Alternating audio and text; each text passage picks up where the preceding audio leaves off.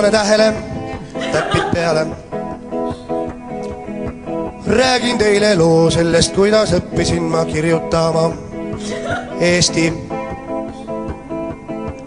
E oli esimene, E oli teine, S oli kolmas, T oli neljas, I oli viies täht, vii, vii, vii, vii, viies täht ja ema ütles, pane tähele, täpid peale.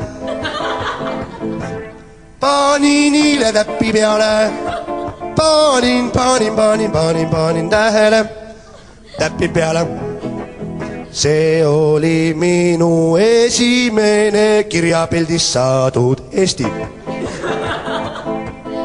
aga Venemaa, aga Venemaa, aga Venemaa on täitsa ilma täppideta. Venemaal ei panda mitte midagi tavaliselt tähele, la la la la. ja Soomes ei panda tähele ja Norras ei panda tähele Rootsis ei panda tähele, aga Lätis jällegi selle eest pannakse tähele.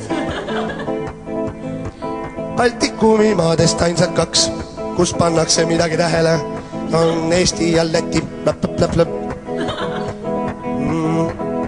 Pane tähele